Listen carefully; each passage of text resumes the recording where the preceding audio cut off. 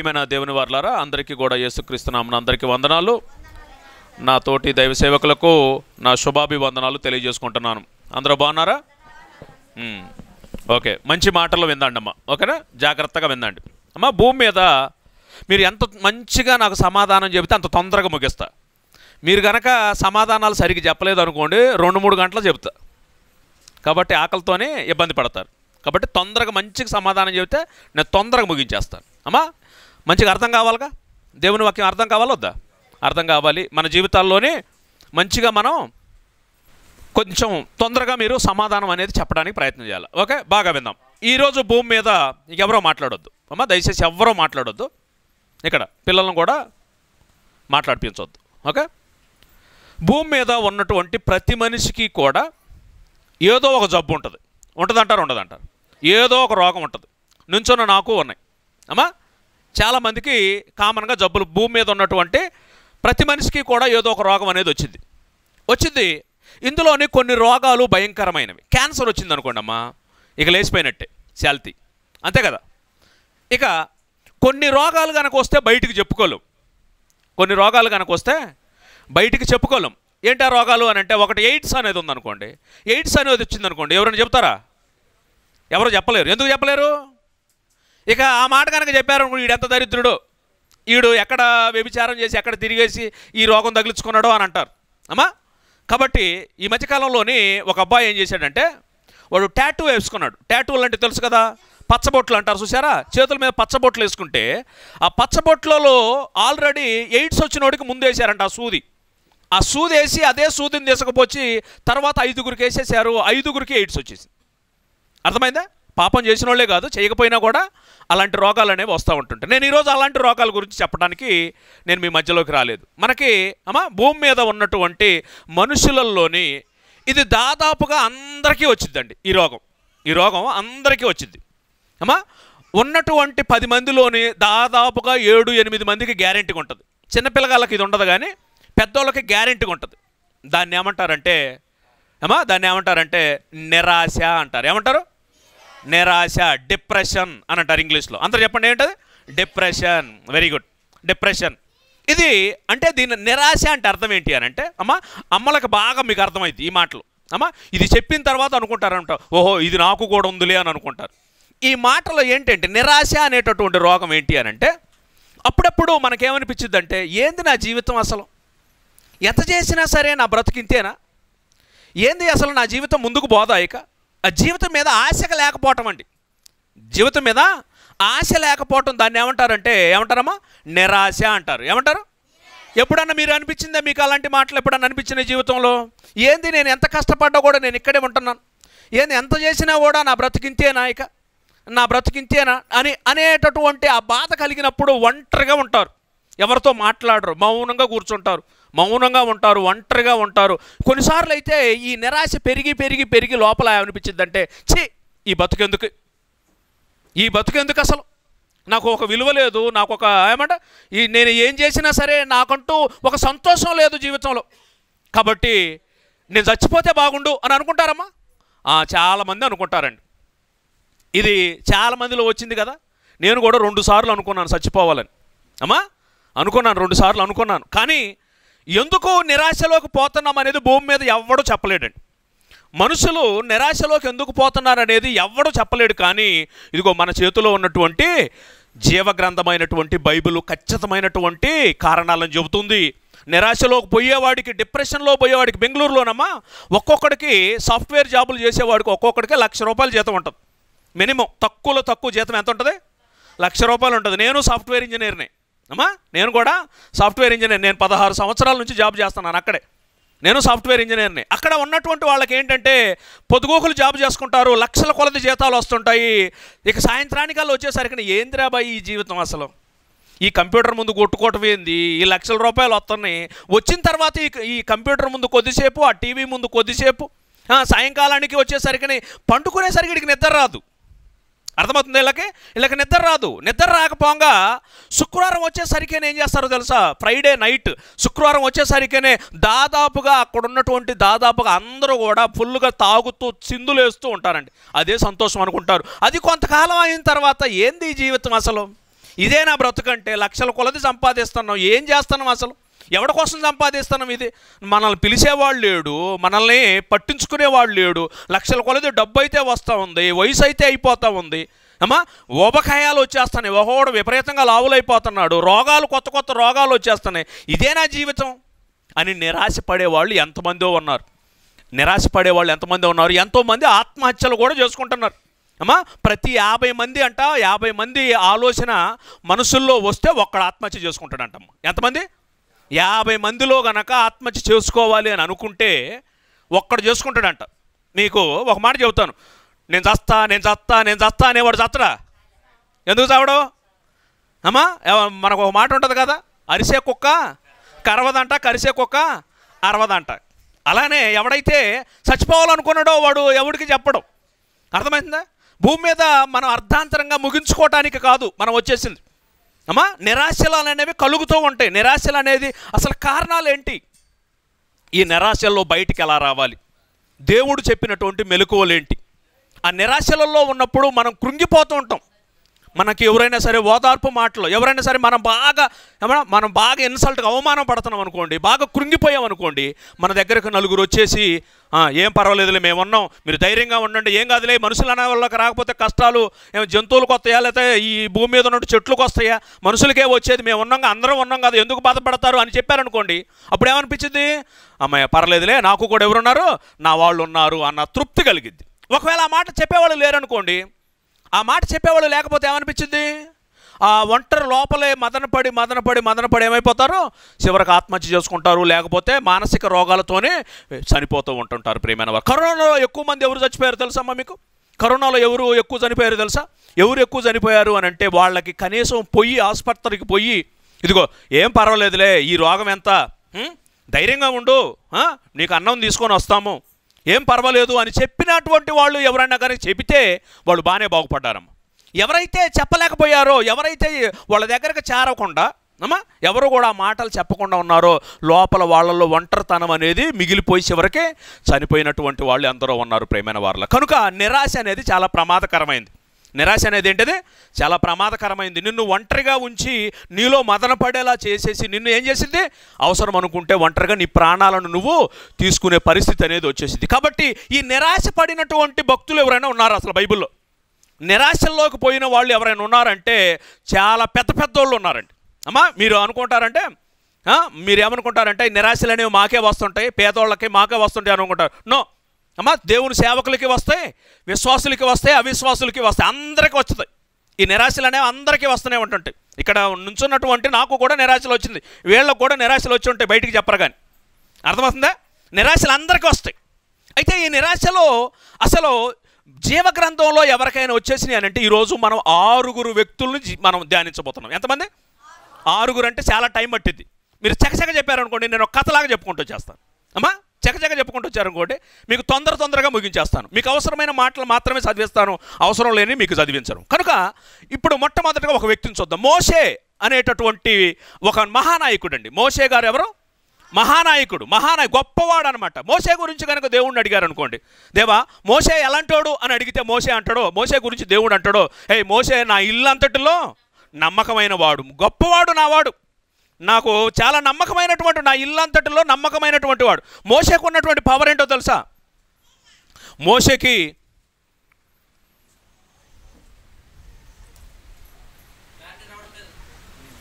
ఇప్పుడు వస్తుందమ్మా? ఓకే. మోసేకి ఇంకెంత దేవుడు ఎంత అధికారం ఇచ్చేశాడు అని అంటే మోసే గనక కర్ర ఎత్తాడు అనుకోండి అమ్మా.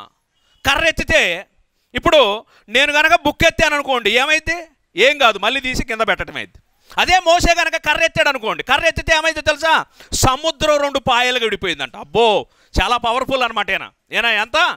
ఎంత పవర్ఫుల్లా ఏది? సముద్రం రెండు పాయలుగా విడగొట్టినాడు భూమి మీద ఎవడన్నా ఉన్నాడా? ఎవరున్నారు? దేవుడు మోసేను నిలబెట్టి నాయనా ఇంకా నాకు ప్రార్థన చేస్తుంది కర్రెత్తో. కర్ర ఎత్తేసాయి ఎత్తితే ఏమైపోద్ది? ఎత్తమంటావా దేవా? అంటే. ఆ ఎత్తో ఏం కాదు నేను ఉన్నా గనక. ఆ ఎత్తో. కర్ర ఎత్తితే ఏమైపోద్ది ఇప్పుడు? సముద్రం రెండు పాయలుగా విడిపోద్ది. ఏమండి అంత గొప్పవాడండి. సముద్రంలో ఉన్నటువంటి ఆ సముద్రాన్ని పాయలుగా విడగొట్టడానికి దేవుని సేవలో వాడబడిన వాడు ఈ ఐగుప్తు దేశంలోని అనేక తెగుళ్ళు రావటానికి దేవుని చేతిలో వాడబడినటువంటి వాడు. ఆ ఎర్ర సముద్రాన్ని దాటిన తర్వాత అనేక మందిని అనేక మందిని ఇదిగో ఐగుప్తు దేశంలో నుంచి పాలు తేనెలు ప్రవహించే దేశంలోనికి ఆ ప్రజలను తీసుకొని వస్తున్నాడండి. ఇంత అనుభవించినటువంటి వ్యక్తి ఒకరోజు దేవుడి దగ్గర పోయి అడుగుతున్నాడండి. అమ్మా ఒకరోజు దేవుడి దగ్గర పోయి ఒక మాట అడుగుతున్నాడు. చూడండి సంఖ్యాకాండము పదకొండో అధ్యాయము. ఆయన దేవుణ్ణి ఒక మాట అడుగుతున్నాడు. ఎంత గొప్పవాడు కూడా దేవుణ్ణి ఎలా అడుగుతున్నాడు అంటే ఆశ్చర్యం అయిపోద్ది. ఏమంటున్నాడు చూడండి సంఖ్యాకాండము పదకొండో అధ్యాయము. పదకొండో వచనం నుంచి చూద్దాం ప్రియమైన వారిలో. పదకొండో వచనం నుంచి. పదకొండో అధ్యాయము పదకొండో వచనం నుంచి. కాగా మోసే యహోవాతో ఇట్లా నేను ఏమంటున్నారమ్మా? నీవేళ ఈ సేవకుణ్ణి బాధించుతివి. నా మీద నీ కటాక్షము నీ కటాక్షము రానీయక రానియక ఈ జనులందరి భారమును నా మీద పెట్టనేలా. నేనే ఈ సర్వజనమును గర్భమును ధరించి తినా ఎంతమంది వచ్చేసారంటే? ఎంతమందికి నాయకుడు అంటేనమ్మా మన పాస్టర్ గారు ఉన్నారు. మీకు ఎంతమందికి నాయకుడు? ఒక వంద మందికి అనుకుందాం. అమ్మా అక్కడ ఉన్నటువంటి నాయకుడు ఎంతమందికో తెలుసా ఆయన? మోసే ఎంతమందికి నాయకుడు అంటే? ఇరవై లక్షల మందికి. సుమారు ఎంతమంది? ఇరవై లక్షల మంది. ఇరవై లక్షల మంది అని అంటే పెద్ద సంఖ్య. అమ్మా ఆ సంఖ్య గురించి అంతమంది జనాంగం గురించి దేవుడికి ఇప్పుడు ప్రార్థన చేస్తున్నాడు. ఏమని ప్రార్థన చేస్తున్నాడు? ఏమని ప్రార్థన చేస్తున్నాడు? మరలా చదవండి అన్నమాట ఎంత బాగుందో? తర్వాత చదవండి అమ్మా. నేనే ఈ సర్వజనమును గర్భమును ధరించి తినా నేనే వీరిని కంటినా?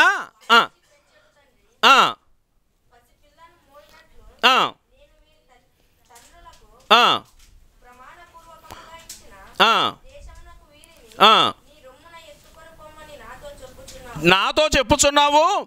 ఈ సమస్త ప్రజలకు ఇచ్చుటకు మాంసము నేను ఎక్కడి నుంచి తెచ్చేదనో? నాకు ఎక్కడిది వారు నన్ను చూసి ఏడ్చుచున్నారు. సమ్ సం తినుటకు మాకు మాంసం ఇమ్మని అడుగుచున్నారు. కాబట్టి ఏం చేయాలి? ఈ సమస్త ప్రజలకు ఒంటిగా మోయ. నా వలన కాదు నాయనా. అది నేను భరించలేని భారము. నీవు నాకు ఇట్లా చేయదలిసిన ఎడల నన్ను చంపము అని అంటున్నారండి. ఏమంటున్నారమ్మా?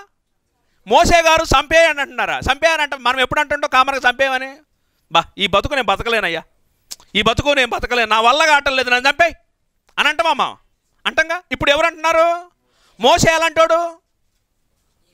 అబ్బా ఎంత గొప్పోడు మోసే సముద్రాన్ని పాయలుగా విడగొట్టినోడు ఆకాశంలో నుంచి మన్నా కురుస్తూ ఉంటుంటే దాని కళ్ళారా చూసినటువంటి వాడు అనేక తెగుళ్ళు ఇదిగో మోసే దగ్గరుండి తెగుళ్ళన్నింటినీ కూడా రప్పించినటువంటి వాడు సముద్రంలోంచి ప్రజలు నడిపించినటువంటి వాడు వాళ్ళకి బండతోని బండలోంచి నీళ్ళను రప్పించినటువంటి వాడు వాళ్ళకి ఆహారం ఎంతో సమృద్ధిగా కలగజేసినటువంటి దేవాది దేవుని పక్షాన నిలవబడినటువంటి గొప్పవాడు ఇప్పుడు ఏమంటున్నాడు? ఇప్పుడు ఏమంటున్నాడు? నాయన నన్ను చంపేయి!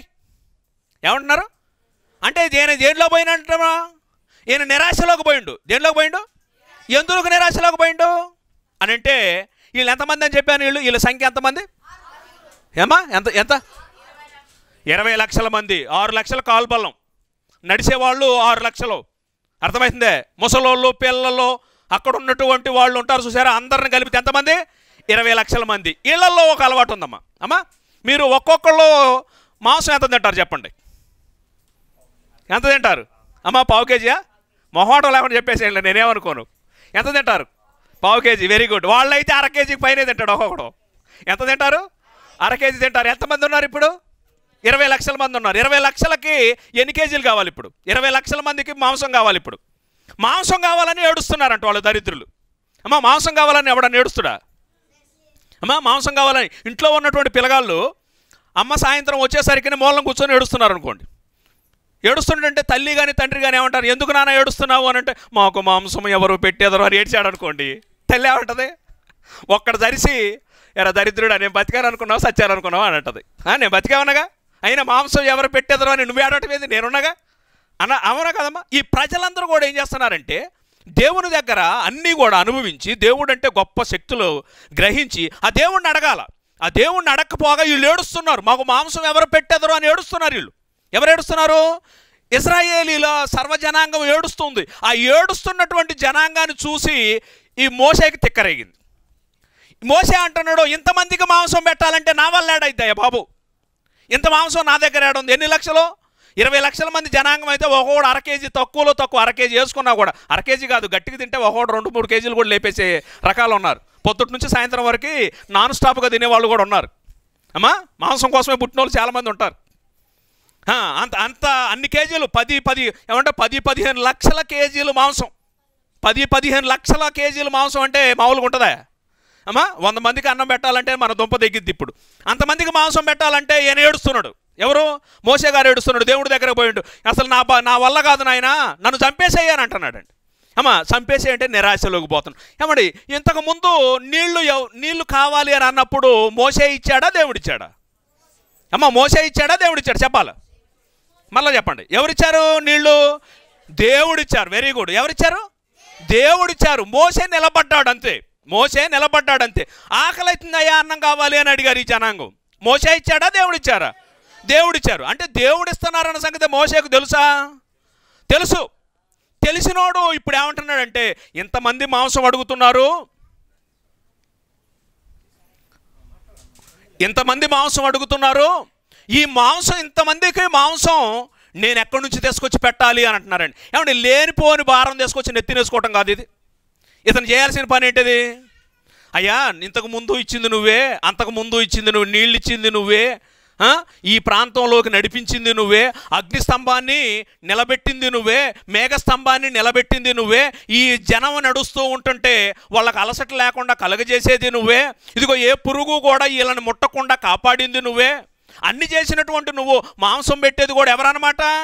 ఆయనే నువ్వే పెట్టు అని అనటానికి బదులు లేని భారాన్ని తీసుకుపోయి ఏమనుకుంటాడో ఇంతమందికి మాంసం నేను ఏడబెడతాను నన్ను చంపే అని అంటున్నాడండి. అంటే ఒక వ్యక్తి నిరాశలోకి పోవటానికి ఒక కారణం ఏంటంటే లేనిపోని వాటిని మన నెత్తినేసుకోవటం అమ్మ అమ్మా అర్థమవుతుంది మీకు?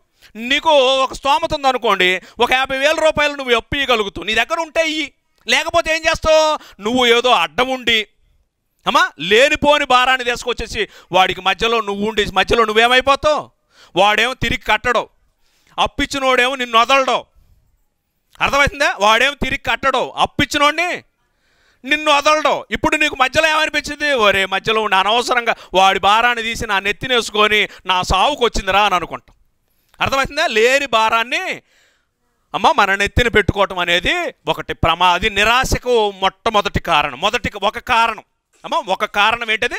చనిపోవాలి అన్న ఆలోచన ఎందుకు వచ్చింది అని అంటే అనవసరమైనటువంటి ఆలోచనలు మన బొ బుర్రలో పెట్టుకోవటం అనవసరం. మనకి భార అమ్మ యేసుప్రభులు ఒక మాట చెప్పారు. సమస్తమైనటువంటి ప్రజలారా మీ భారాన్ని ఏం చేయాలి?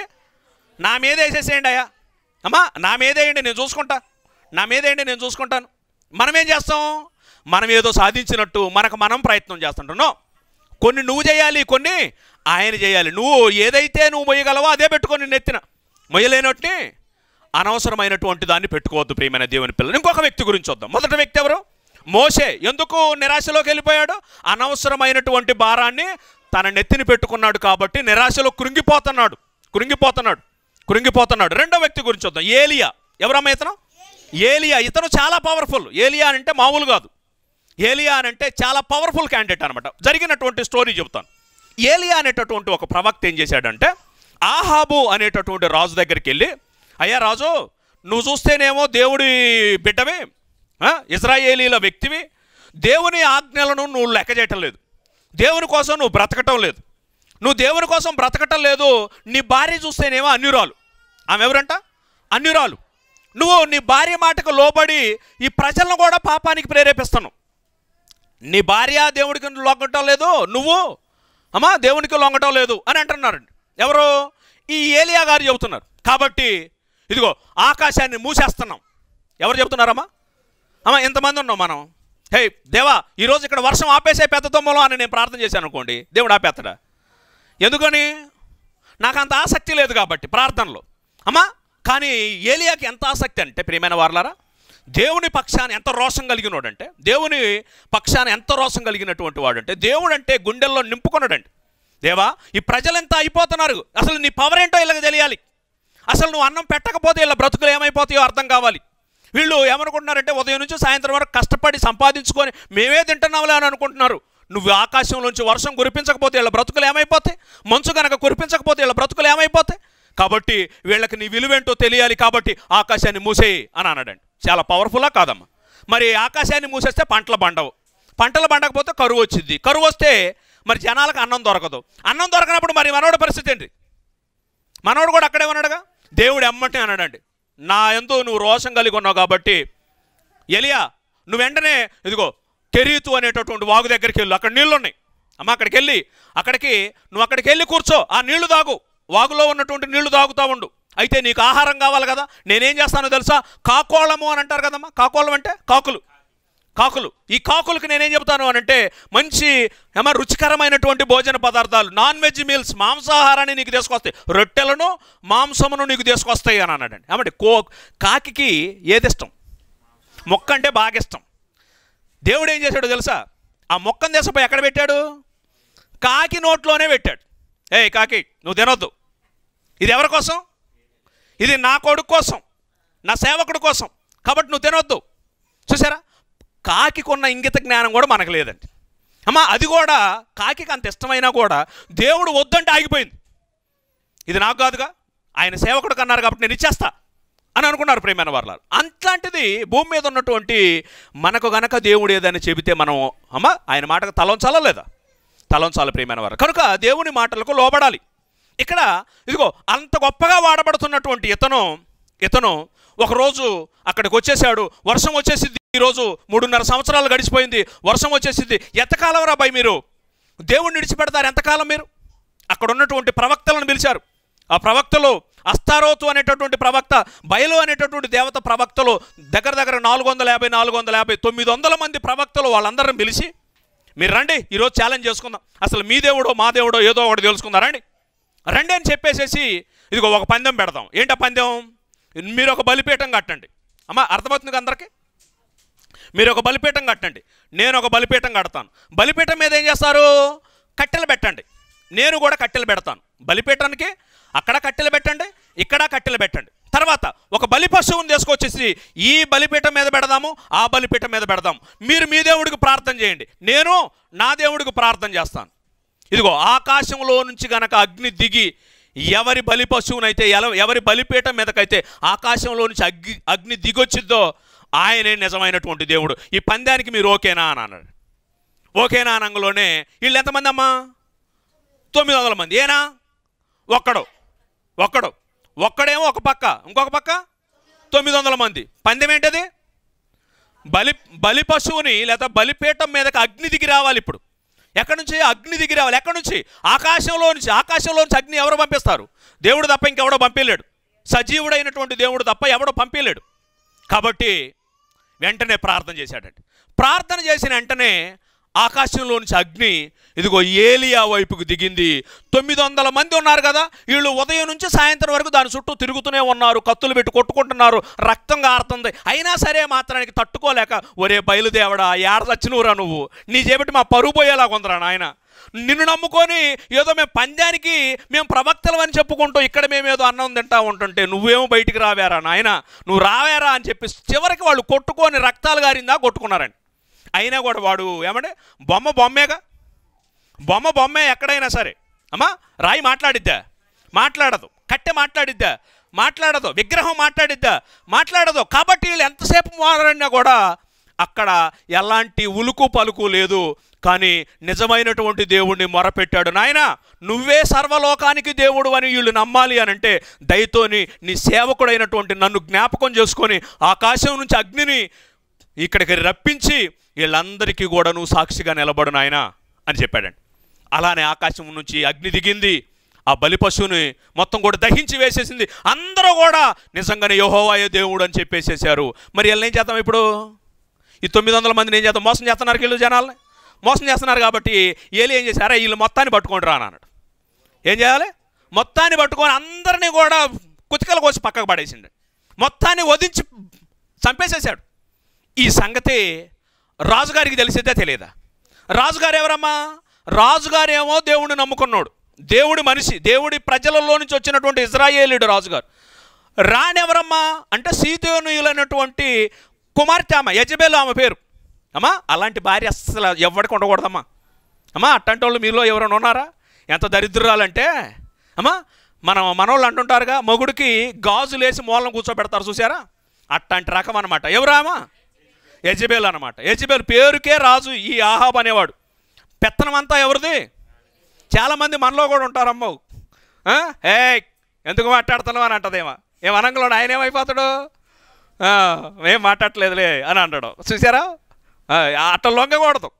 అర్థమైందా? భార్య భర్తలు ఇద్దరు కలిసిమెలిసి ఉండాలి మంచిది. కానీ నీ నీ శిరస్సు ఎవరు? నీ భర్త. నీ భర్తకు నువ్వు లోబడాలి. నువ్వు నీ భర్తకు లోబడాలి. నీ భర్త ఎవరికి లోబడాలి? దేవునికి లోబడాలి. మీరిద్దరూ కలిసి ఎవరికి లోబడాలి?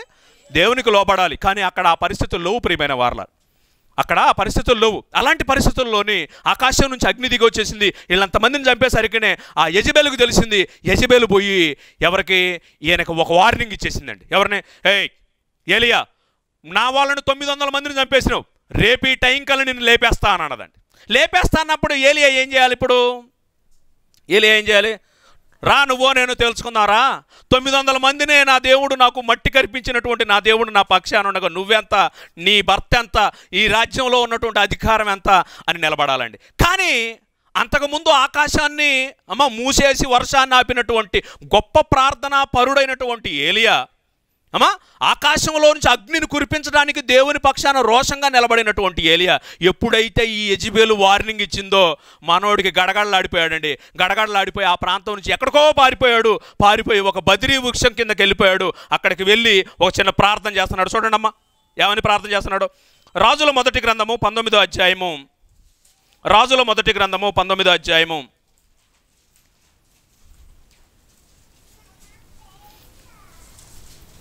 మొదటి నుంచి ఐదు వచనాలు చూద్దామమ్మా. మొదటి నుంచి ఐదు వచనాలు. అదెంత చదవండి మీరు? నేను నాలుగో వచనాన్ని డైరెక్ట్గా చదువుతాను. తాను ఒక దిన ప్రయాణము అరణ్యములోనికి పోయి నాలుగో వచనం చదువుతున్నాను. అమ్మా రాజుల మొదటి గ్రంథము పంతొమ్మిదో అధ్యాయము నాలుగో వచనం. తాను ఒక దిన ప్రయాణము అరణ్యములోనికి పోయి ఒక బదిరి వృక్షము కింద కూర్చోండి.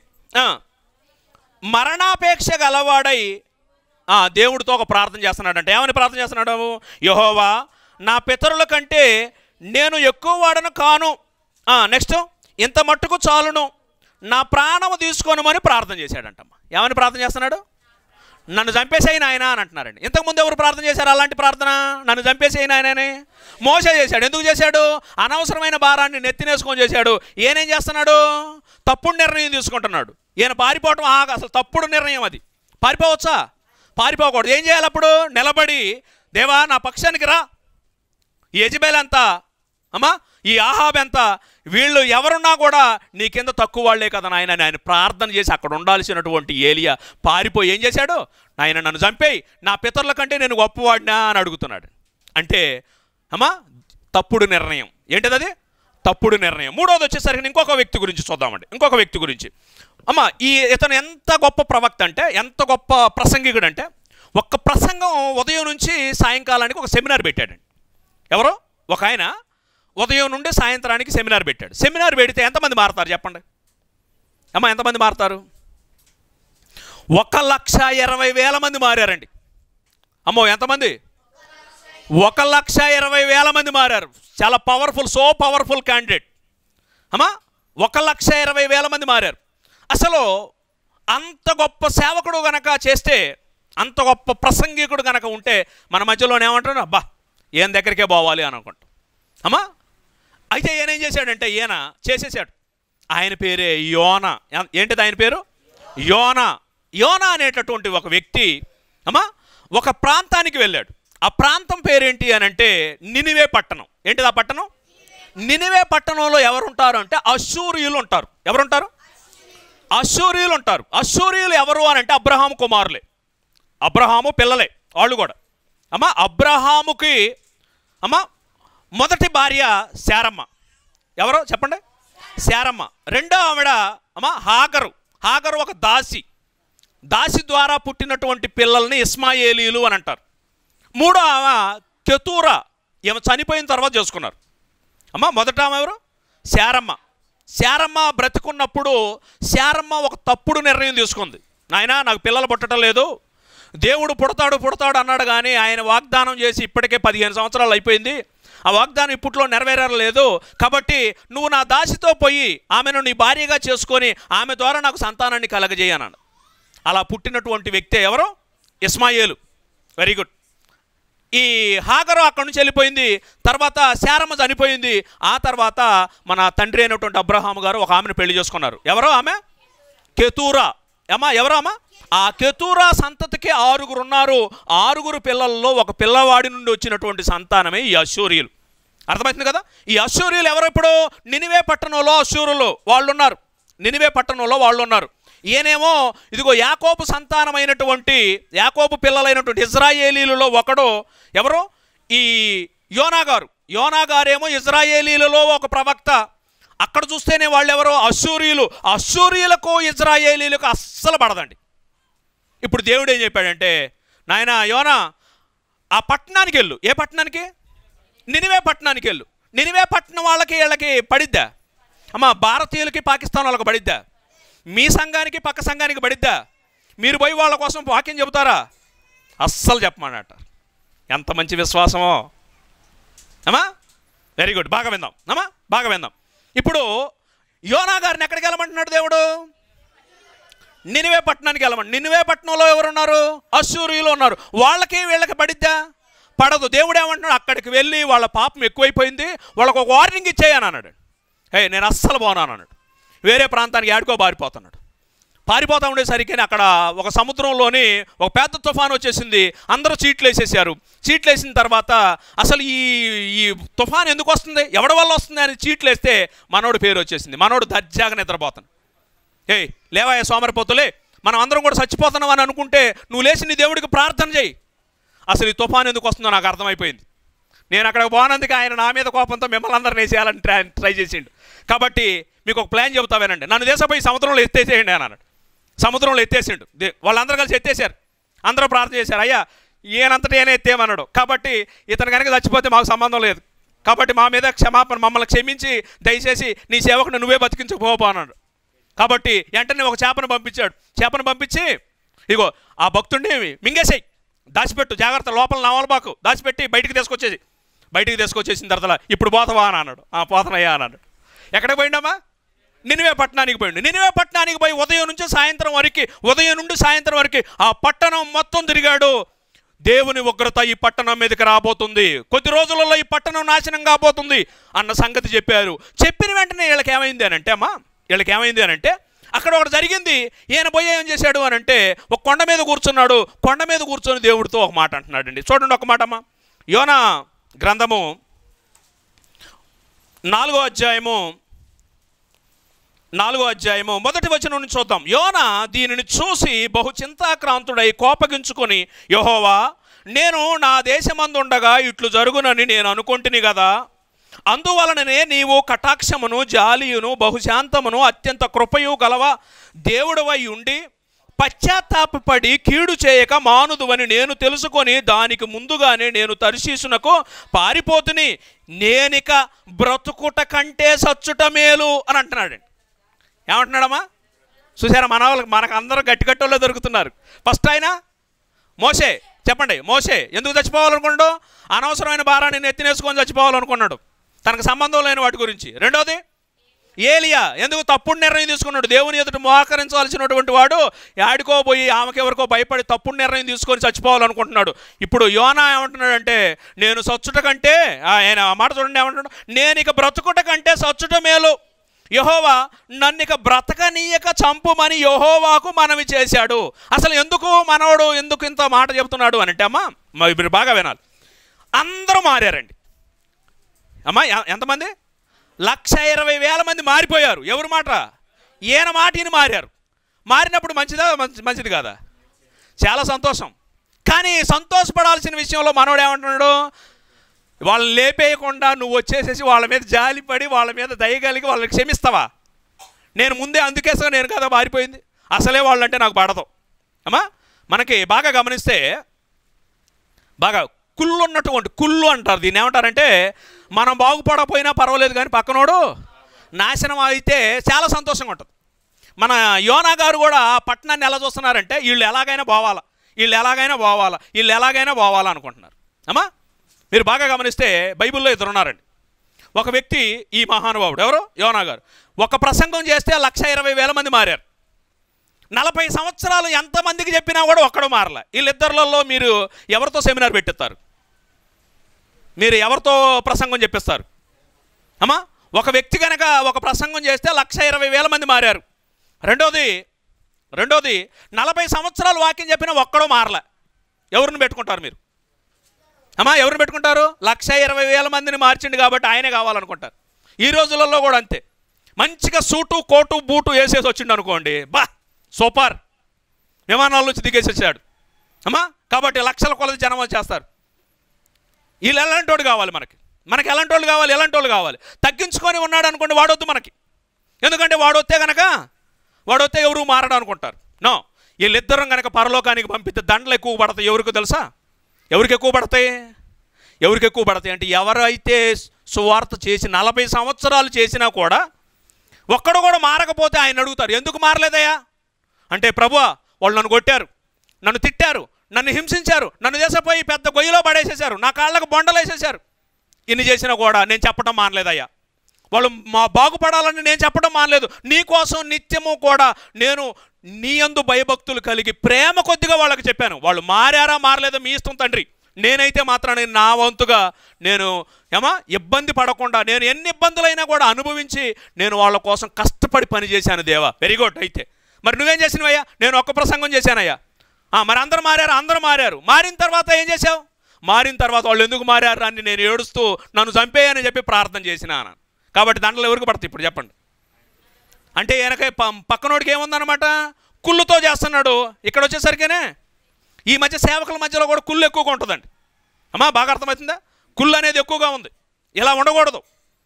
దేవుని సేవ అనేది నిస్వార్థంగా చేయాలి. దేవుని సేవలోకి వచ్చినటువంటి వాళ్ళు ప్రజలు బాగుపడాలి అని అనుకోవాలి. పేదలు అయితే పేదల దగ్గర మంచిగా ఉండాలి. వాళ్ళ సొమ్మును కొల్లగొట్టడానికి వాళ్ళ అవసరాలకు వాడుకోవడానికి మనం చేసుకోకూడదు.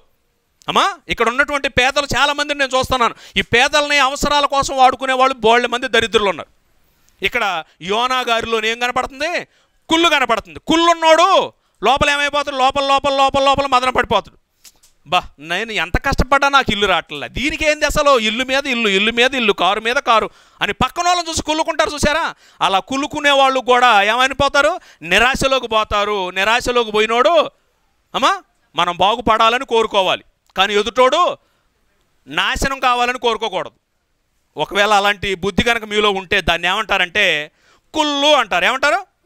అది కనుక ఉందనుకోండి నిరాశలోకి పోతాం. ముగ్గురు అయిపోయారు ఇప్పుడు. ఎంతమంది? ఒక్కొక్కరు చెప్పండి. మోసే అనవసరమైన భారాన్ని. రెండోది యోన నెక్స్ట్ ఏలియా ఎందుకు? తప్పుడు నిర్ణయాన్ని. మూడోది యోన కుళ్ళుతోని ఓకేనా నిరాశలోకి పోయాడు. ఇప్పుడు నాలుగోది అపోస్తులుడైనటువంటి పౌలు గారండి. పౌలు గారంటే చాలా పవర్ఫుల్ మీ అందరికీ తెలుసు. పౌలు అంటే సూపర్ అనమాట ఆమె యేసుప్రభు తర్వాత అంత గొప్ప సేవ చేసినటువంటి భక్తులు ఎవరైనా ఉన్నారా అని అంటే అమ్మా పౌలు గారే. పౌలు గారు అంతటి గొప్ప పౌలు గారు ఒకరోజు ప్రయాణం చేస్తున్నారు. ఎక్కడి నుంచి? ఎరుసలేం సిటీలో నుంచి కైజరియాకి వెళ్ళారు. కైజరియాలో అరెస్ట్ చేసేశారు. ఎరుసలేములో అరెస్ట్ చేసి కైజరియా అనే ప్రాంతంలో జైల్లో పెట్టేశారు. ఆ జైల్లో పెట్టి అక్కడ నుంచి దేవుడు ఆ రోజు చెప్పాడండి. యేసుప్రభుల వారు దర్శనంలో వచ్చి నాయన పౌలా నువ్వు డోంట్ వరీ. నువ్వు ఏదైతే ఇక్కడ సాక్ష్యం చెప్పావో ఎరుసలేములో నువ్వు ఏ సాక్ష్యం చెప్పావో కైజరియాలో ఏ సాక్ష్యం చెప్పావో నువ్వు మరలా తిరిగి ఎక్కడికి వెళ్ళాలి? నువ్వు రోమ్లోకి వెళ్ళి ఒక చక్రవర్తి ఎదుట నువ్వు ఆ సాక్ష్యం చెబుతావు నువ్వు ఖచ్చితంగా అక్కడికి వెళ్తావు అని చెప్పారు.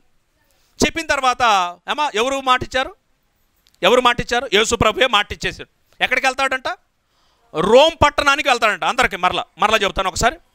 కైజరియా అనేటటువంటి ప్రాంతంలో ఏం చేశారంటే పౌలు గారిని అరెస్ట్ చేశారు అరెస్ట్ చేసిన తర్వాత వాళ్ళ ధైర్యంగా వాళ్ళ ముందు చెప్పాడు. రాజుగారి ముందు చెప్పాడు. అగ్రిప్ప అనే రాజుగారి ముందు ధైర్యంగా చెప్పాడు.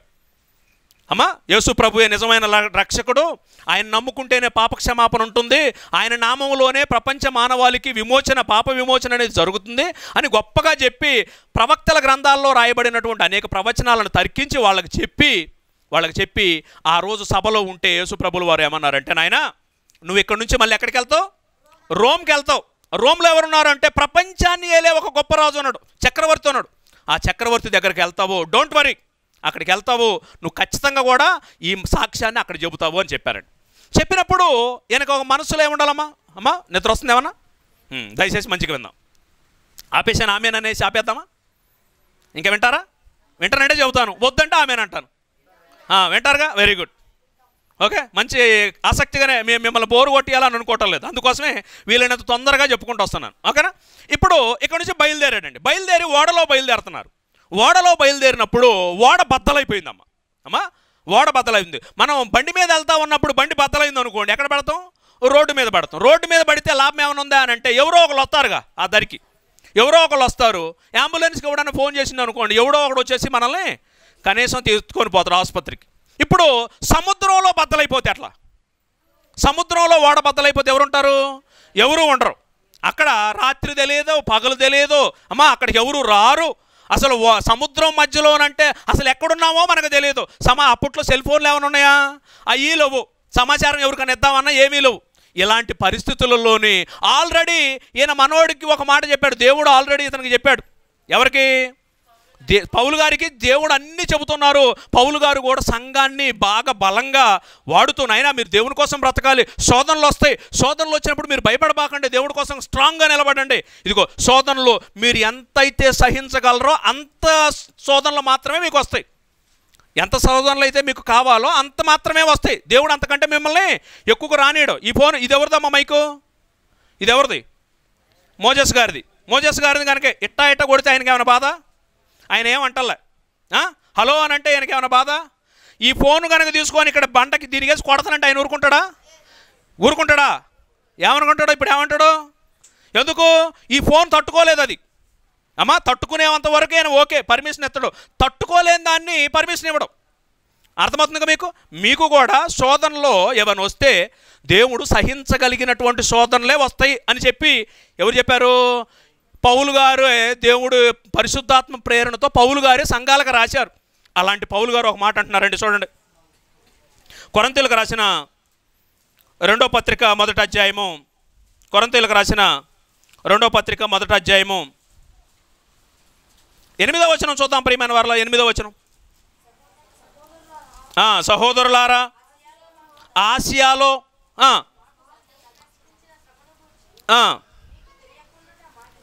ఆసియాలో మాకు తటస్థించినటువంటి శ్రమను గూర్చి మీకు తెలియకుండా మాకు ఇష్టం లేదు అదేదనగా మేము బ్రతుకుదామను నమ్మకం లేదు అని అంటున్నారండి. ఎందుకంటే వాడ బద్దలైపోయింది మేము బ్రతుకుతామన్న నమ్మకం ఎవరికి లేదంట? అపనమ్మకం అప్పుడప్పుడు వచ్చింది ప్రియమైన వాళ్ళ అపనమ్మకం అప్పుడప్పుడు వచ్చేసింది. అపనమ్మకం ఎవరిలో వచ్చింది ఇప్పుడు?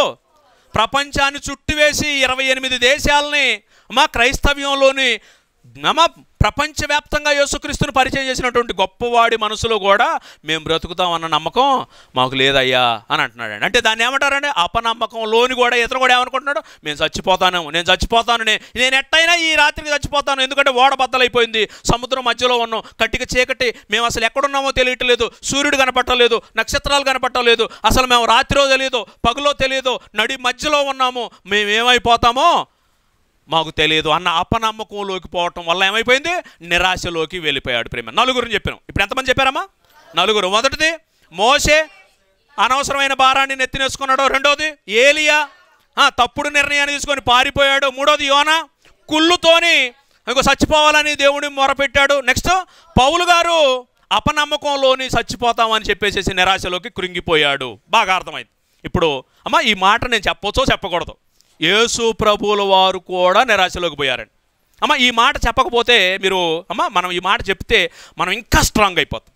ఒక మాట చెప్తాను మీకు అర్థం కావటం కోసం. నేను ఒక మాట చెప్పాను అనుకోండి నాకు ఒక పిప్పు పన్ను ఉంది. బాగా నొప్పిగా ఉంది రా భయ్య అని మీతో చెప్పినాను మీరు మీరేమంటారు? ఏ పిప్పి పన్నుది ఏముందా? పిప్పి పన్ను నొప్పి ఏముంది అని అన్నారు అనుకోండి నాకు నొప్పి తగ్గిద్దా? ఏ- పెరిగిద్దా? నాకేమనిపించింది తెలుసా? అరే పిప్పి పన్ను ఉంటేగా నీకు తెలిసేది? అది సుయ్యి సుయ్యి సుయ్యి అని అంటుంటే ఆ నొప్పి నాకు నాకు మాత్రమే తెలిసిద్ది. ఆ పిప్పి పన్ను లేనోడు ఎన్నైనా చెబుతాడు. ఇప్పుడు అదే మాట కనుక ఇంకొకడు వచ్చేసేసి అరే భయ్ నీకు ఒక్క పిప్పి పన్ను ఉంది? నాకు రెండు ఉన్నాయి అని అనుకోండి. అప్పుడు ఎవరికి ఏమనిపించింది అమ్మయ్య పర్లేదు నాకు ఒక్కదాంతోనే నేను దత్తాను అనుకుంటే ఎరకే రెండు ఉన్నాయని అనుకుంటా యేసు ప్రభు ప్రియమైన దేవుని పిల్లలారా యేసు ప్రభుల వారు ఎంత గొప్పవాడు అంటేనమ్మా మనం ఏ సమస్య అయినా ఆయన దగ్గరికి వెళ్ళి చెబితే అమ్మా ఏ సమస్య అయినా ఆయన దగ్గరికి వెళితే ఆయన ఆల్రెడీ చెబుతున్నాడు. ఆ సమస్యను నేను ఆల్రెడీ అనుభవించాను. నేను ఆల్రెడీ అది నేను అనుభవించేశాను అది అనుభవించానని అని ఎలాంటిదైనా సరే భూమి మీద ఉన్నటువంటి ఏ మనిషి ఆయన దగ్గరకు పోయినా కూడా ఆ మాట చెబుతాడండి. అలాంటి యేసుప్రభు జీవితంలో కూడా ఒక నిరాశ కలిగింది. ఏంటి నిరాశ అనంటే అంటే భూమి మీద ఉన్నటువంటి మనుషులకు కలిగినటువంటి నిరాశ లాంటివి కావాయి. అమ్మా ఈయనకి ఈయనకున్నటువంటి పరలోకపు తండ్రి యొక్క చెయ్యి విడిచిపెట్టాలంట కొద్దిసేపు. అమ్మా మీ నాన్న అంటే మీకు ఇష్టమే కమ్మా అమ్మా మీ పరలోకపు తండ్రి అంటే ఇష్టమేనా? ఎంత ఇష్టం మీకు? చెప్పండి ఎంత ఇష్టం? అమ్మా ఎంత ఇష్టం? బాగా ఇష్టం. అమ్మా ఆయన కోసం ఏదైనా వదులుకుంటారా? అన్నీ చెప్పండి మాత్రం అది మాత్రం అడగొద్దని అంటారు. అమ్మా కానీ యేసుప్రభు ఎంత ఇష్టమంటేనండి యేసుప్రభుకి పరలోకపు తండ్రిని కొన్ని క్షణాలైనా కూడా విడిచిపెట్టడం ఆయనకి ఇష్టం లేదు. విడిచిపెట్టడం ఇష్టం లేదు. ఎందుకంటే ప్రపంచంలో ఉన్నటువంటి ప్రజల పాపం అంతా కూడా ఆయన భుజముల మీదకు వస్తే ఈయన పాపాత్ముడు అయిపోతాడు ఇప్పుడు పాపాత్ముడు అయినప్పుడు పరిశుద్ధుడైన దేవుడు పట్టుకుంటాడా? పట్టుకోడు. కొన్ని నిమిషాలు వదిలేయాలి. ఈ సంగతి ముందే తెలుసు. అయినా ఈ లోకానికి వచ్చేసాడు. వచ్చేసిన తర్వాత అది గుర్తుకొచ్చింది. గెచ్చమనే తోటలోనికి వెళ్ళాడు. గెచ్చమనే తోటలోనికి వెళ్ళి మోకరించి తండ్రి నీ చిత్తం అయితే దీన్ని ఆపేసేయి అన్నాడు. నో ఇది ఆపడం కుదరదు. ఇది ఆపడం కుదరదు నాయన. నువ్వు ఖచ్చితంగా చేయాల్సిందే అని అన్నాడు. పరలోకంలోంచి దేవదూత అక్కడికి వచ్చేసింది. ఆయన బలపరిచింది. బలపరిచింది. మరలాపై ప్రార్థన చేశాడండి. మరలా పోయి ప్రార్థన చేశాడు. తండ్రి నీ చిత్తమైతే దీన్ని నా యొద్ద నుండి తొలగించు అని అన్నాడు. బలపరిచారు. అమ్మా బలపరిచారు. తీరా శిష్యులు వచ్చేసరికి ఏం చేస్తున్నారు వాళ్ళు? వాళ్ళు నిద్రపోతూ ఉన్నారు. ఆయన ప్రార్థన చేశాడు మొదటిసారి. వీళ్ళ దగ్గరకు వచ్చారు. అయ్యా మీరు ప్రార్థన చేయండి. మరలా రెండోసారి పోయారు. ప్రార్థన చేశారు. మూడోసారి వచ్చేసి ఇక్కడికి వచ్చేసరికి వీళ్ళందరూ కూడా నిద్రపోతా ఉన్నారు. అంటే పరలోకంలో ఉన్నటువంటి తండ్రి మాటను కాదనలేక రెండుసార్లు అడిగాడు రిక్వెస్ట్ చేశాడు. నీ చిత్తమైతే కనుక దీన్ని ఆపేసేయి. ఈ నీ చిత్తం అయితే ఇది దీన్ని ఆపేసే. ఎందుకంటే నిన్ను విడిచిపెట్టడం నాకు ఇష్టం లేదు. అలా అని వీళ్ళని పాప భారం మోయటం కూడా నాకు ఇష్టమే. రెండూ కావాలి నాకు. కానీ నిన్ను విడిచిపెట్టడమే నాకు బాధగా అనిపిస్తుంది ఆయన అని అన్నాడు. అని ఆయన గురించి ఎంత మంచి మాట రాశారు చూడండమ్మా. మతేసు వార్త ఇరవై ఆరో అధ్యాయం మతేసు వార్త ఇరవై ఆరో అధ్యాయము ముప్పై ఆరో వచనం నుంచి ముప్పై ఆరో వచనం నుంచి. అంతటా యేసు ప్రభుల వారు వారితో కూడా గెచ్చమనబడిన చోటికి వచ్చి నేను అక్కడికి వెళ్ళి ప్రార్థన చేసి వచ్చు వరకు మీరు ఇక్కడ కూర్చుండమని శిష్యులతో చెప్పి పేతురును జబదా ఇద్దరు కుమారులను వెంటబెట్టుకుని పోయి దుఃఖపడుటకును ఆయన ఆ- మాట చూడండి ఏం రాసింది అక్కడ బైబిల్లో? దుఃఖపడుటకును చింతాక్రాంతుడగుటకును మొదలుపెట్టను అనంట. మీ చింత యావత్తు నా మీద వేయమన్న యేసు ప్రభు చింతలోకి వెళ్ళిపోయాడు ఇప్పుడు. అర్థమవుతుంది కదా? ఎందుకు? పరలోకపు తండ్రిని విడిచిపెట్టడం ఆయనకి ఇష్టం లేదు. పరలోకపు తండ్రిని కొన్ని క్షణాలు విడిచిపెట్టడం కూడా ఇష్టం లేదు. అంత గొప్పవాడు యేసుప్రభు.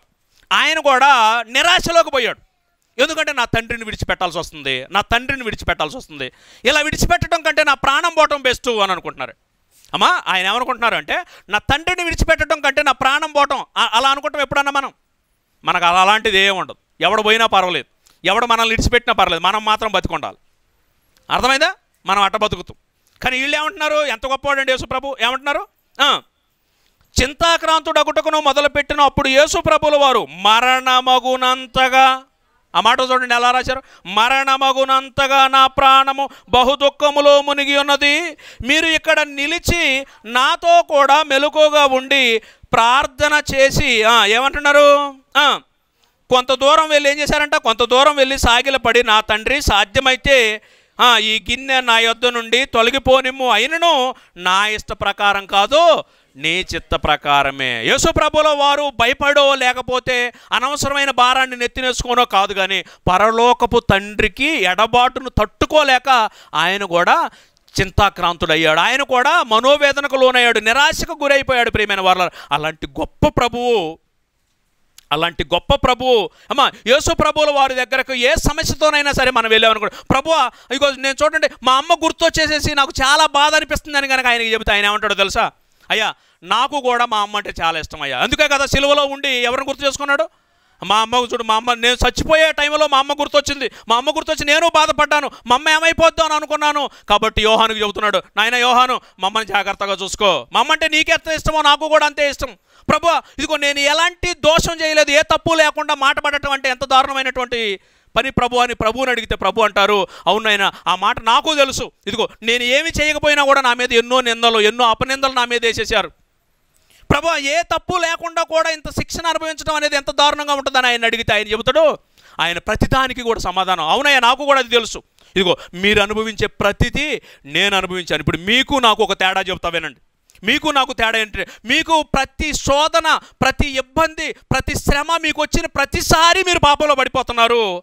అదే శోధనలో అదే శ్రమలో వచ్చిన ప్రతిసారి ఇంకా నేను పరిశుద్ధతను ప్రపంచానికి కొనసాగిస్తున్నాను. అదేనండి ప్రపంచానికి యేసుక్రీస్తుకి ఉన్న డిఫరెన్స్ ప్రేమైన వాళ్ళ ప్రతిసారి ఆయన ఎలా ఉన్నాడంట? ఆయన పరిశుద్ధంగానే ఉన్నాడు. ప్రతిసారి ఆయన దేవునిలో గొప్పగానే ఉన్నాడు. పాపం అనేది చేయకుండా ఆయన ఉన్నారు. వీళ్ళు మాత్రం ఏం చేస్తున్నారు మనం అందరం ఏం చేస్తాను సమస్య వచ్చిందనుకోండి వాడిని తిడతాం వీడిని తిడతాం. అమ్మా అసలు ఈ రోజు నేను ఇంత బాధపడటానికి కారణం వాడివా ఈడే అని చెప్పేసి ఎవరెవరినో తిడతా ఉంటుంట కానీ యేసు ప్రభులు వారు ఏమంటున్నారు? ఆయన పరిశుద్ధంగా ఉన్నాడంట ప్రేమైన వారు ఇప్పుడు ఎంతమంది అయిపోయారమ్మా? ఐదుగురు అయిపోయారు. ఇప్పుడు లాస్ట్ ఒక వ్యక్తి గురించి చెప్తానండి. చెప్పేసి ముగించేసుకుందాం. అమ్మా దావీదు గారు. అమ్మా దేవుడు గనక పేర్లు గొప్పవాళ్ళు భూమి మీద బ్రతికిన వాళ్ళు ఎవరైనా ఉన్నారా ప్రభు అనే దేవుడిని అడిగితే అమ్మా ఆయన చెప్పే ఐదుగురు లిస్టులో ఖచ్చితంగా ఆయన పేరు ఉంటుంది. ఎవరైనా? దావీదు గారు. దావీదు గారు చాలా గొప్పవాడండి. యేసు అమ్మా దావీదు గారు గొప్పవారు. దావీదు గారి గురించి దేవుడు చెప్పినటువంటి మాట ఏంటిది ఇతడు నా ఇష్టానుసారుడైన మనుషుడు. అమ్మ బోరు కొడుతుందా? అమ్మా. ఏమి బోరు కొట్టట్లేగా? కొద్దిసేపు కొద్దిసేపు ఓపిక పట్టండి. అమ్మ కష్టాలలో నుంచి ఈ దావీదు గారికి కూడా నిరాశ వచ్చింది కానీ నిరాశలో కృంగిపోలేదండి. నిరాశతో కృంగిపోయినా కూడా నిరాశలో నుంచి ఎలా బయటికి రావాలో చెప్పాడు. మనం కూడా నిరాశలోనికి పోవటమే కాదు బయటికి ఎలా రావాలో కూడా చెప్పాలి. నిరాశలోకి పోయే వాళ్ళ గురించి మనం ఇంతవరకు చూసాం నిరాశలలోని వెళ్ళినటువంటి అమ్మ మన ప్రభువు మన అందరికీ కూడా ఆయనే మనకు ఆధారం. మన నిరాశల్లో కృంగిపోతున్నప్పుడు మనల్ని బయటికి తీసుకొచ్చేది మన ప్రభువే. మన దేవుడే తీసుకొచ్చేది. ఇప్పుడు ఆ మాటలని ఇదిగో దావీదు గారి జీవితంలోని ఒక నిరాశని ఎంత నిరాశ అని అంటే ప్రేమైన వాళ్ళారా దావీదు జీవితంలోని సుమారు యాభై నుంచి యాభై రెండు సంవత్సరాల వరకు పర్ఫెక్ట్గా ఉన్నాడండి. మంచిగా ఆయన చాలా గొప్పగా బ్రతికాడు. రాజరికం ఉంది. పదిహేడు పద్దెనిమిది యుద్ధాలు. అమ్మా అన్ని యుద్ధాలలో ఏ యుద్ధంలో ఓటం లేదు. కత్తి పట్టాడు అని అంటే శత్రువు సర్వనాశనం అయిపోయాడు. ఎంతమందినైనా సరే నేల కనిపించాడు గొలియాత్ అనేవాడు వాడి హైట్ ఎంత అంటే ఆరు మోరల జానడంటమ్మ. ఆరు మోర అంటే ఎంత ఉంటుందా? ఎన్ని మోరలు? ఆరు మోరల జానడు. ఎంత ఉంటాడో? ఎంత ఉంటాడేమో? ఎంత ఉంటాడా? తొమ్మిది అడుగులు. ఎన్ని అడుగులు? ఎంత ఉంటాడో? వాడి సంకల దగ్గర కూడా ఉండను నేను. అట్టంటోడు దావీదు చిన్నపిల్లోడు నాకంటే ఇంకా హైట్ తక్కువ ఉన్నాడు అప్పుడు. అలాంటి దావీదు ఆ గొలియాత్ అనేవాడిని వాడు కత్తులు ఈటలు ఏమా మొత్తం కూడా యుద్ధ సామాగ్రి తీసుకొని యుద్ధం కథన రంగంలో వాడు వస్తే ఒకే ఒక రాయి తీసుకొని కొట్టాడండి. ఎంత కాన్ఫిడెన్స్ అంటారు? దేవుళ్ళు ఎంత బలంగా ఉన్నాడు చెప్పండి. అలాంటి దావీదు ఒకరోజు యుద్ధం జరుగుతుంది. ఆయన రాజ్యంలో ఉన్నటువంటి ప్రజలకు శత్రువులకు యుద్ధం జరుగుతూ ఉంటే ఈయన యుద్ధానికి బాలేదు మొదటిది. ఈయన యుద్ధానికి పోకుండా తన సైన్యాన్ని పంపించాడు. యుద్ధం అనేది జరుగుతూ ఉంది. యుద్ధం జరుగుతున్నప్పుడు మనోడు బాగా తిన్నాడేమో డైరెక్ట్గా పోయి బిల్డింగ్ ఎక్కేశాడు. బిల్డింగ్ ఎక్కేసి చూసినామంటే ఒక ఆమె కనపడుతుంది. స్నానం చేస్తుందంట. స్నానం చేస్తున్నప్పుడు చూసేసరికేనే ఈయన చూసినోడు ఏమంటే ఏం చేయాలి? కాముకు దిగొచ్చినా బాగుండు ఆమెను చూశాడు ఆమెను మోహించాడు ఆమె కావాలని కోరుకున్నాడు దురాశ చెందాడు ఆమెను లోపలికి తెచ్చుకున్నాడు ఆమెతో పడుకున్నాడు పాపం చేసేసాడు ఆమెను బయటికి పంపించాడు. పైకి మాత్రం ఎలా ఉన్నాడు? భక్తిపరుల్లాగా ఉన్నాడు. భక్తిపరుల్లాగా ఉన్నాడు. కొద్ది రోజుల తర్వాత ఆమె వచ్చేసరికి ఆమె ప్రెగ్నెంట్ అయింది. ఆమె గర్భవతి అయిపోయింది. గర్భవతి అయింది. ఈ సంగతి కనుక బయట వాళ్ళకి తెలిస్తే ఆమె కబురు పంపించింది. అయ్యా రాజుగారు మీరు నాతో పాపం చేసేసారు నేను గర్భవతిని అయిపోయాను ఇప్పుడు నా పరిస్థితి ఏంటి అని అనగలోనే నీ భర్త ఎవరు? అని అంటే సరే మీ దగ్గర సైనికుల్లో ఒకడు. కబురు పంపించాడు రా నీకు సెలవులు ఇచ్చేస్తున్నాను వెళ్ళిపో. ఊరియాని పిలిచి నీకు సెలవు ఇచ్చేస్తున్నాను నువ్వు ఇంటికెళ్ళి నీ భార్యతో హ్యాపీగా ఉండు ఈయన చేసిన పాపాన్ని ఎవరి ఖాతాలు వేద్దాం అనుకుంటున్నాడు? మంచి తెలియగలిగినవాడు వాడు తెలియగలిగిన వాళ్ళు మంది ఉన్నారు ఇక్కడ. అర్థమైందా? అలా చేద్దాం అనుకుంటున్నాడు. అతన్ని పిలిచేసి నువ్వు ఇంటికి వెళ్ళవయా నువ్వు అదిగో నీకు సెలవులు ఇస్తున్నాను నువ్వు ఇంటికి నీ భార్యతో హ్యాపీగా ఉండు అని అంటే లేదు లేదయ్యా ఇక్కడ యుద్ధం జరుగుతున్నప్పుడు నేను నా భార్యతో గడపడం మంచిది కాదు. నీ కోసం అవసరమైతే ప్రాణమైన పెడతాను తప్ప నా ఇంటికి మాత్రం వాను అని మనోడు కూర్చున్నాడు. అయితే ఈ యుద్ధానికి పంపించేసేసి ఈ ఫ్రంట్ లైన్లో పెట్టండిరా శత్రువులు చంపేస్తారు అని చెప్పేసేసి ఒక కాగితం పంపించేశాడండి. అతను చంపేశారు. చంపేసిన తర్వాత చంపేశారు. బాగా విందాం అమ్మా అతను చంపేశారు. చంపేసిన తర్వాత ఏమేమైపోయింది ఇప్పుడు? భర్త లేకుండా అయిపోయింది. లోపల ప్రెగ్నెంట్ అన్న సంగతి జనాలకు తెలియదు. అది ఎవరెవరికి తెలుసు? ఆమెకు ఈయనకు మాత్రమే తెలుసు. కాబట్టి భర్త లేనటువంటి ఏమో కాబట్టి నేను పెళ్ళి చేసుకుంటాను నా భార్యను చేసుకుంటాను అని సైలెంట్గా కూర్చున్నాడు. చూసారా బయటికి మాత్రం ఎలా ఉంటారు? ఎలా ఇలా ఉంటారు ప్రియమైన వారిలో? కనుక ఇప్పుడు ఎలాంటి పరిస్థితుల్లో వచ్చేసరికినే దేవుడు ఒక వార్నింగ్ ఇచ్చాడు. నాయన నువ్వు చాలా తప్పు చేసేసావు. అమ్మ దేవుడు ఎవరిని విడిచిపెట్టడు. అమ్మ తప్పు చేసినప్పుడు దేవుడు శిక్షిస్తాడు. ఆ తప్పుని ఎవరైతే రియలైజ్ అయ్యి గుర్తించి దేవుడి పాదాల చెంత చేరతారో అలాంటి వాళ్ళకే క్షమాపణ అనేది జరుగుతుందండి. ఇదిగో ఆయన తప్పు చేశాడు ఆయన తప్పును ఒప్పుకున్నాడు ఎంత ఒప్పుకున్నాడు అని అంటే అయ్యా నేను అమ్మ అప్పుడప్పుడు శోధనలు ఎలా వస్తాయనంటే ఎంత పెద్దవాడినైనా సరే తిప్పి తిప్పి సముద్రంలో పడేసినంత శోధనలు వస్తాయి. అర్థమవుతుందా? అలాంటిది అతని జీవితంలోని భయంకరమైనటువంటి పాపం చేశాడు. ఆ పాపంలో మునిగిపోయాడు. ఆమెను వివాహం చేసుకున్నాడు. ఆమె గర్భవతి అయి కుమారుని కన్నది. ఆ కుమారుడికి రోగం వచ్చేసింది. దేవుడికి మొరపెట్టాడు. నాయన ఈ కుమారుడిని బ్రతికించని మొరపెట్టాడు. ఉపవాస ప్రార్థనలు చేశాడు. దేవుడు ఆ పిల్లోడిని బ్రతకనే లేదు. ఆ పిల్లోడు చనిపోయాడు. ఈయన మరలా వచ్చేసేసి ఇక నేను ఎలాగైనా సరే ఆ కుమారుడి దగ్గరికి కదా వెళ్ళాల్సిందే అని అనుకున్నాడు. మనసు తెచ్చుకున్నాడు. ఇక ఆ రాజ్యంలోని అప్పటి నుంచి స్టార్ట్ అయినాయండి అతనికి కష్టాలు.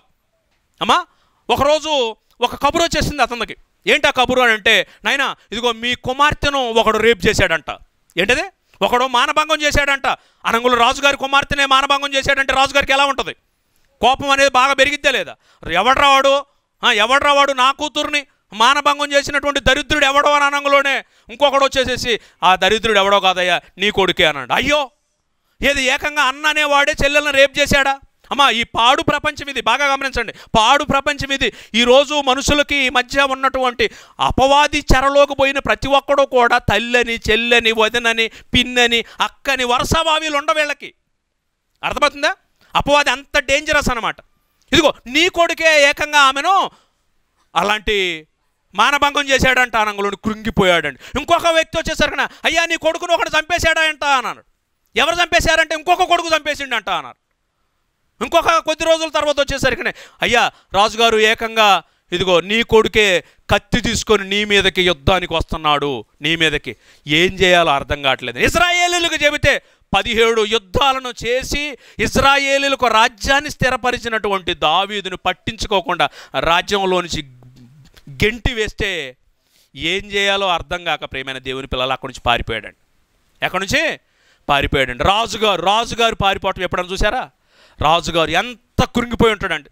ఒకప్పుడు బ్రతికిన బ్రతుకెంత ఇప్పుడు జరుగుతున్నటువంటి పరిస్థితులు ఒక పక్క బిడ్డ చచ్చిపోయింది ఇంకొక పక్క ఒక ఒక తన కూతురుని మానభంగం చేశారు మరొక కుమారుడు వ్యభిచారం చేశాడు వాడిని ఇంకొకడు చంపేశాడు ఇంకొకడేమో రాజ్యాధికారం కోసం వాడు ఏకంగా నా మీదనే తిరుగుబాటు చేశారు ఇజ్రాయేలీల కోసం నేను ఇన్ని యుద్ధాలు చేసి ఇలాగ రాజ్యాన్ని స్థిరపరిస్తే ఒక్కడో నా పక్షాన లేకుండా ఈరోజు అదే రాజ్యంలో నుంచి నన్ను గెంటి వేసి ఇక్కడి నుంచి పారిపోయేలా చేశారని ఏమంటే కృంగి కృషించి నిరాశకు లోనైపోయి అక్కడి నుంచి పారిపోతూ పారిపోతూ ఒక యోర్ధాను నది ఉందండి అక్కడ. ఏంటిదమ్మది యోర్ధాను నది దగ్గరికి వెళ్ళి ఆ నది దగ్గర నుంచి పక్కనున్నటువంటి ఒక కొండ ఉందండి. హెర్మోను అనేటటువంటి ఒక కొండ.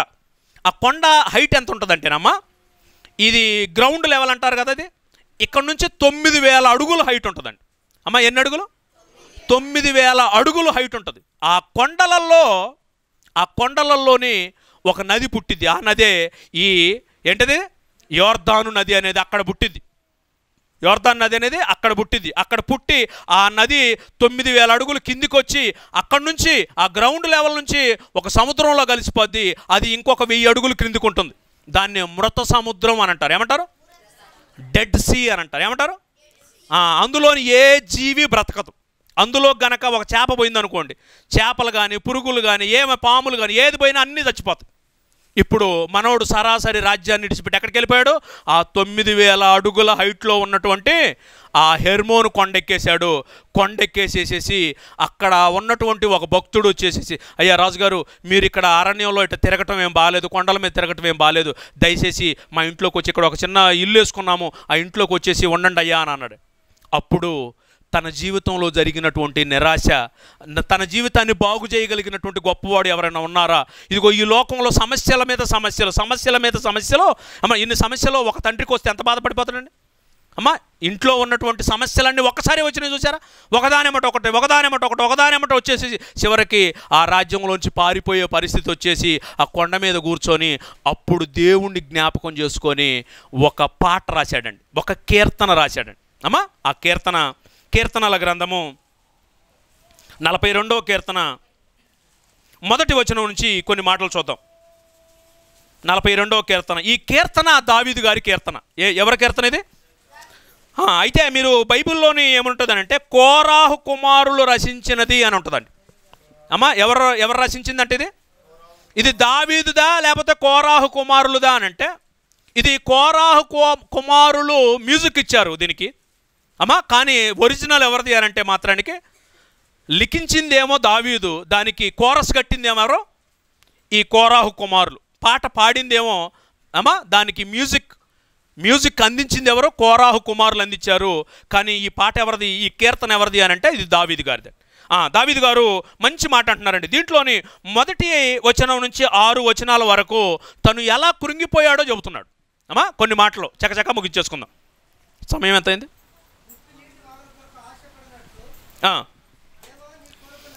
దుప్పి నీటి వాగుల కొరకు ఆశపడునట్లు దేవా నీ కొరకు నా ప్రాణము ఆశపడుచున్నది.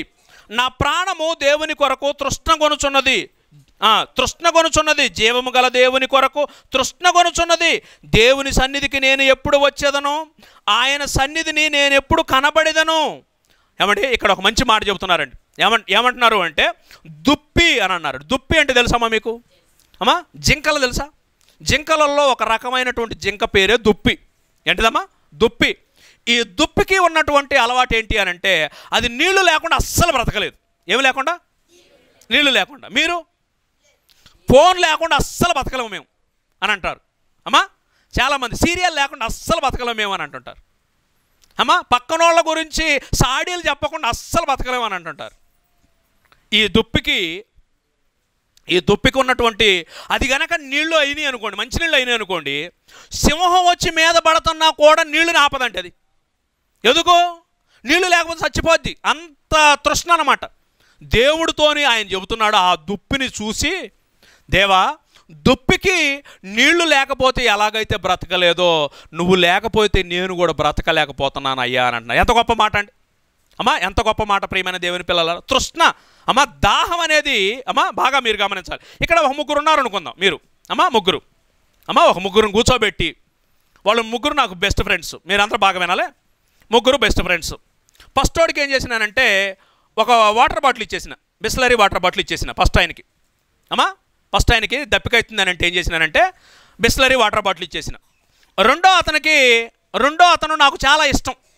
ఇష్టం కాబట్టి అతనికి స్ప్రైట్ బాటిల్ ఇచ్చేసిన. బాగా వినాలి? కరెక్ట్ చెప్పాలి మీరు. అమ్మా ముగింపులోకి వచ్చేస్తాను. మొదట ఆయనకి ఏమి ఇచ్చినాను? బిస్లరీ వాటర్ బాటిల్ ఇచ్చిన. రెండో ఆయనకి ఏమి ఇచ్చినాను? స్ప్రైట్ ఇచ్చిన స్ప్రైట్. మూడో ఆయనకి ఏమి ఇచ్చేసినాను అంటే విస్కీ ఇచ్చేసినానంటే ఏమి ఇచ్చేసినాను? ఏం నేను ఎలా మాట్లాడుతున్నాను అనుకుంటున్నారా? లోకంలో ఎలా ఉంటుందో బాగా గమనిద్దాం. అమ్మా ఓకేనా? ఎంత? మొదటోడికి ఏమి ఇచ్చినావు? వాటరు. రెండోవాడికి స్ప్రైట్. మూడోవాడికి విస్కీ. ఇలా ముగ్గురులో ఎవరికి దాహం తీరిద్ది? వాటర్ తాగినోడికి దాహం తీరిద్ది. వెరీ గుడ్ కరెక్ట్ చెప్పేశారు. ఇప్పుడు ఇంకొక ప్రశ్న అడుగుతా. ఈ ముగ్గురులోని ఈ లోకంలో ఎవడికి ఎక్కువ వాల్యూ ఉంటుంది? నీళ్ళు తాగేవాడికా స్ప్రైట్ తాగేవాడికా విస్కీ తాగేవాడికా? ఎవడికి? విస్కీ తాగేవాడికే వాల్యూ ఎక్కువ ఉంటుంది. కానీ వాడి దాహం తీరిద్దా?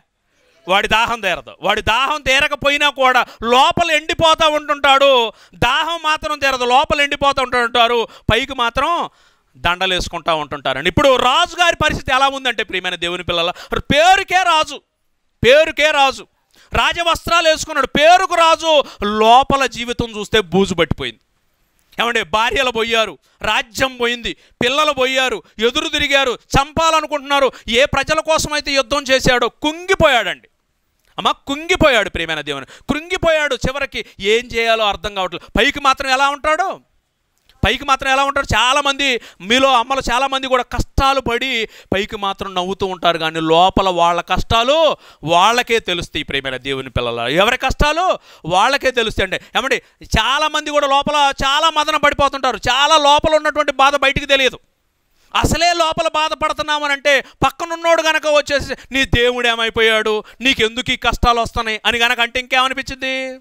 అసలు అసలే బాధతో చచ్చిపోతున్నవారు అని ఆయన అంటే ఈ సమయంలో సూటిపోటు మాటలు కనుక తగులుతుంటే ఇంకా ఎలా అనిపించింది దావీదు గారి మీదకి దాడి జరుగుతుందండి. దావీదు గారు అసలే నిరాశలో కృంగిపోయారు. అసలే నిరాశలో కృంగిపోయినటువంటి దావీదు తన బ్రతుకులో కృంగి కృషించి అయ్యో నాకెందుకు ఈ జీవితం ఇలా అయిపోతుంది? చచ్చిపోవాలనుకుంటున్నాడా? చచ్చిపోవాలనుకోవటం లేదు. మీరు బాగా గమనించాలి. అమ్మా ఏదన్నా కనుక చిన్న సమస్య వస్తే లోపల మదన పడిపోతావు. మదన పడిపోయినప్పుడు నీ చింత నీలో ఉంటే దాని నుంచి బయటికి రావాలి అని అంటే మార్గం ఎతకాలి తప్ప చచ్చిపోతే అమ్మా మనిషికి మరణం అనేది ముగింపా? చచ్చిపోయిన తర్వాత కొత్త జీవితం ఉందా లేదా? లేదా? లేదు అని అంటున్నాం విత్తనం ఉందా నీ దగ్గర? ఒక విత్తనం. విత్తనాన్ని తీసుకొచ్చి భూమిలో పెట్టినాం అనుకోండి. విత్తనం చచ్చిపోయిందా చచ్చిపోలేదా? చచ్చిపోయింది. చచ్చిపోయిన విత్తనాన్ని మట్టిలో పెట్టి కప్పెట్టి నీళ్ళు పోసినాం అనుకోండి. అది ఏమైంది ఏమైపోద్ది? రెండు రోజులు మూడు రోజుల తర్వాత ఒక పచ్చని మొలక వచ్చింది. వచ్చిన తర్వాత అది చిన్న చ- మొలక అయింది. ఆ మొలకే ఒక మొక్క అయింది. మొక్కే ఒక చెట్టు అయింది. మరి విత్తనం ఏమైంది? కొత్త జీవితాన్ని ప్రారంభించింది అనమాట కొత్త జీవితాన్ని ప్రారంభించిందా లేదా? చచ్చిపోయిన దాన్ని లోపల పెడితే ఏమైపోయింది? కొత్త జీవితాన్ని ప్రారంభించింది. అంటే బ్ర మనిషికి మనిషిని కూడా భూమిలో కప్పెట్టిన తర్వాత అమ్మా ఒక కొత్త జీవితం స్టార్ట్ అయింది. అర్థమవుతుంది కమ్మా కొత్త జీవితం స్టార్ట్ అయింది. ఆ కొత్త జీవితం స్టార్ట్ అవ్వాలి అని అంటే ఈ భూమి మీద బ్రతికే ఈ బ్రతుకులోని నిరాశలకు లోనై ఈ జీవితాన్ని అర్ధాంతరంగా ముగించుకోకూడదు. దావీదు కురింగిపోయాడు నిరాశలో మునిగిపోయాడు. నిరాశలో మునిగిపోయినటువంటి దావీదు అక్కడ ఉన్నటువంటి ఆ సమస్యలన్నింటినీ చెబుతున్నాడండి మూడో వచనం. నా దేవుడు ఏమాయనని వారు నిత్యము నాతో అనుచుండగా రాత్రింబగళ్ళు నా కన్నీళ్ళు నాకు అన్నపానములాయను అని అంటున్నారండి. ఏమంట ఏమైంది అంటమ్మా? కన్నీళ్ళు అన్నపానములు ఆయన కన్నీళ్ళు. అమ్మా ఈ లోపల లోపల ఎంత మామ? అప్పుడప్పుడు మనం ఎప్పుడు ఏడుస్తాం చెప్పండి? ఎప్పుడు ఏడుస్తాం? ఎవడన్నా కనుక వచ్చి గట్టి కొట్టాడు అనుకోండి ఏడుస్తాం. రెండోది కొన్నిసార్లు లోపల ఏమా లోపల బాధ పెళ్ళుబికి సౌండ్ బయటికి రాదు. సౌండ్ బయటికి రాదు. కానీ కళ్ళమటి నీళ్ళు అలా గారిపోతూ ఉంటుంది అమ్మా ఇప్పుడు దావీదు పరిస్థితి ఎలా ఉంది అన్నట్టు బయటికి చెప్పుకోలేని పరిస్థితి. బయటికి ఎవడికి చెబుతాం ఇప్పుడు? రాజుని. పేరుకేమో రాజు జీవితంలో కష్టాలు కడగండ్లు అన్నీ ఒక్కసారి అలా మీద అలా ఎలాగైతే పైనుంచి వస్తూ ఉంటుంటుందో తన జీవితంలో దెబ్బ మీద దెబ్బ దెబ్బ మీద దెబ్బ దెబ్బ మీద దెబ్బ ఆయనకు తగిలి తగిలి తగిలి కృంగిపోయి ఏమంటున్నాడు? నాకు చివరికి మిగిలింది ఏందయ్యా అంటే ఈ కన్నీళ్ళేనయ్యా అని అంటున్నాడు. ఈ ఏం మిగిలినది నాకు ఈ కన్నీళ్ళేనయ్యా అని అంటున్నాడు ప్రేమైన వారిలో. ఇంకా నెక్స్ట్ నెక్స్ట్ ఉమ్, జన సమూహముతో పండుగ చేయుచున్న ఆ, జన సమూహముతో పండుగ చేయుచు పండుగ చేయుచున్న పండుగ చేయుచున్న సమూహముతో నేను వెళ్ళిన సంగతి సంతోషము కలిగి స్తోత్రములు చెల్లించుచు నేను దేవుని మందిరమునకు వారిని నడిపించిన సంగతిని జ్ఞాపకము చేసుకొనగా నా ప్రాణము నాలో కరిగిపోవుచున్నది అని అన్నాడండి. మరలా చదువుదాం అన్నమాట మరలా. నా ప్రాణము నాలో కరిగిపోతుంది. దేవునికి స్తోత్రం చేసినటువంటి సంగతులు దేవుడికి అన్ని జరిగినటువంటి సంగతులు కనుక చేస్తే అది పైన ఉన్నది గుడ్ న్యూస్లా కనపడుతుంది కానీ ప్రియమైన వార్లరా అప్పుడప్పుడు కొన్ని గుడ్ న్యూస్లు కూడా మీకు బ్యాడ్ న్యూస్ అయిపోతాయమ్మ అమ్మా. కొన్ని శుభమైనటువంటి వర్తమాన శుభమైనటువంటి న్యూస్ కూడా వార్తలు కూడా ఏమైపోతాయంటే అశుభంగా మారిపోతాయండి మీకు అర్థం కావడం కోసం ఒక మాట చెబుతా. మీ ఇంట్లో మీ బిడ్డకు పెళ్ళి చేశారు. అమ్మా మీ బిడ్డకి ఏం చేశారు? పెళ్ళి చేశారు. పెళ్ళి చేసిన తర్వాత బిడ్డని ఇంటికి అక్కడ నుంచి అత్తగారింటికి పంపించేశారు. అత్తగారింటికి వెళ్ళిపోయింది. చక్కగా రంగరంగ వైభవంగా ఖర్చులు పెట్టేశారు అని చేశారు. చేసిన తర్వాత ఆ బిడ్డ అక్కడికి వెళ్ళిపోయింది. పెళ్ళి చేసుకుంది. అత్తగారింట్లో హ్యాపీగా ఉందిలే అని చెప్పేసి అనుకున్నారు. అనుకున్న తర్వాత ఒక ఐదు ఆరు రోజుల తర్వాత ఫోన్ వచ్చింది. ఫోన్ వచ్చిన వెంటనే బిడ్డ ఫోన్ చేసింది. బిడ్డ ఫోన్ చేసినప్పుడు తండ్రి ఆత్రం ఎలా ఉంటుంది? అమ్మా బాగున్నావా?